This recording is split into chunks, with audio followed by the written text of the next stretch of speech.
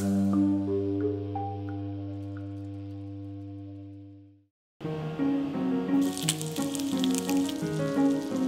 food production system that we have today is not really sustainable. A quarter of the environmental impact is from animal production. Cultured meat or cultivated meat is the production of meat without using the whole animal, but using animal cells.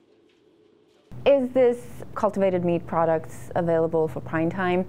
It depends how you look at it. Scaling and co cost reduction is a big topic of research and a big topic of discussion still. There's still some technical challenges there, but we're, we're very close, I think.